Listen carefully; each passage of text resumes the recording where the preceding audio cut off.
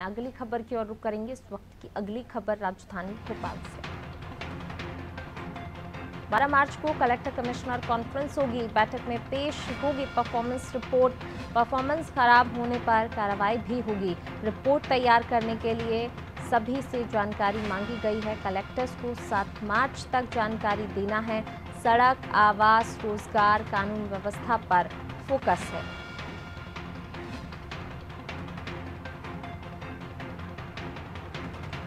Collector commissioner conference होगी। 12 मार्च को एक कॉन्फ्रेंस आयोजित की गई है। बैठक में परफॉर्मेंस रिपोर्ट पेश होगी। परफॉर्मेंस खराब होने पर कार्रवाई भी की जाएगी। रिपोर्ट तैयार करने के लिए सभी से जानकारी मांगी गई है। कलेक्टर्स को 7 मार्च तक जानकारी देनी है, जिसमें सड़क, आवास, रोज़गार, कानून व्यवस्था पर फोकस रहेगा। जो कलेक्टर कमिश्नर कॉन्फ्रेंस 12 मार्च को होगी, उसमें खास तौर से इन चीज़ों को लेकर फोकस रहने वाला है। और इसी को लेकर परफॉर्मेंस रिपोर्ट भी मांगी गई है और अगर परफॉर्मेंस रिपोर्ट जो है परफॉर्मेंस खराब होती है तो कार्रवाई की भी बात कही गई है। ज़्यादा जानकारी के लिए सीधे रुक कर लेते हैं संवाददाता नीरज जी का। नीरज जी 12 मार्च को कलेक्टर कमिश्नर कॉन्फ्रेंस होनी है, क्या कुछ जानकारी? जी बिल्कुल देखिए, मुख्यमंत्री शिवराज सिंह चौहान लगातार बैठक में तो कर ही रहे हैं, कभी अपने मंत्रियों के साथ वन टू वन चर्चा करते हैं और उनके क्षेत्र की जानकारी लेते हैं और विकास कार्यों की जानकारी लेते हैं कि जिस तरह से सरकार विधायकों को जो फंड उपलब्ध कराती है, उनका क्या किया गया, उन फंडों को किस तरह से इस्तेमाल किया गया, साथ ही मंत्रियों के साथ भी लगातार वन टू वन चर्चा भी रहते हैं। इसी क्रम में एक चाय पर चर्चा का कार्यक्रम भी मुख्यमंत्री शिवराज सिंह किया था, जिसमें वो हर रोज एक मंत्री से मुलाकात कर रहे थे।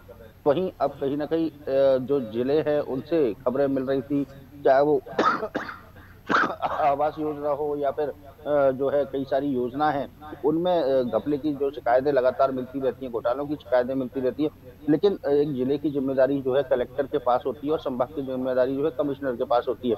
तो कहीं ना कहीं इसको लेकर अब मुख्यमंत्री शिवराज सिंह चौहान सख्त नज़र आ रहे हैं और इसको लेकर एक वर्चुअल तरीके से सभी ज़िले के कलेक्टर और कमिश्नर्स की जो है बैठक करने वाले हैं और उनसे उनकी परफॉर्मेंस रिपोर्ट मांगेंगे। जिस तरह से सरकार की जो योजनाएँ चल रही हैं, उनका लाभ कितने लोगों तक पहुँचा, जिस तरह से विकास कार्य चल रहे हैं, उनकी क्या स्थिति है इन सभी चीज़ों की जानकारी कलेक्टरों से ली जाएगी कमिश्नरों से ली जाएगी।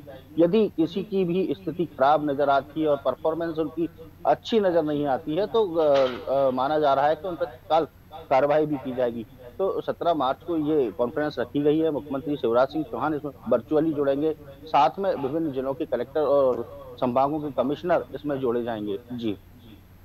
जी, बिल्कुल नीरज जी, और यहाँ पर मॉनिटरिंग की ज़रूरत भी जो है महसूस होती है लगातार, क्योंकि इस तरीके की शिकायतें सामने आती हैं। ये भी हमने अक्सर देखा है कि योजनाएँ जो चलाई जा रही हैं, योजनाएँ तो चला दी जाती, लेकिन ठीक से क्रियान्वयन नहीं हो पाता उन योजनाओं का। जी, बिल्कुल, पूनम, ज़ाहिर सी बात है कि मॉनिटरिंग होने से योजनाओं का क्रियान्वयन नहीं हो पाता। यदि बात की जाए पीडब्ल्यूडी विभाग की तो एक कलेक्टर अपने ज़िले में पदस्थ रहता है और कलेक्टर की ज़िम्मेदारी होती है कि पीडब्ल्यूडी विभाग यदि बना रहा है या आवास बना रहा है, उसमें ठेकेदार किस तरह से काम कर रहा है, कितना अच्छा काम कर रहा है, कितना घटिया काम कर रहा है। इसी प्रकार नगरीय नगरीय निकाय की नगर निगम की बात की जाए तो कमिश्नर के पास ज़िम्मेदारी होती है कि उस क्षेत्र में किस तरह का काम हो रहा है। तो कहीं ना कहीं जिस तरह से शिकायतें मिलती रहती हैं घोटालों की और खराब निर्माण की, खराब सड़क निर्माण की तो इसकी मॉनिटरिंग के लिए अब कहीं ना कहीं सरकार सख्त नज़र आ रही है और इन लोगों की अब ज़िम्मेदारी भी जो कलेक्टर कमिश्नर है इनकी ज़िम्मेदारी भी तय कर दी गई है।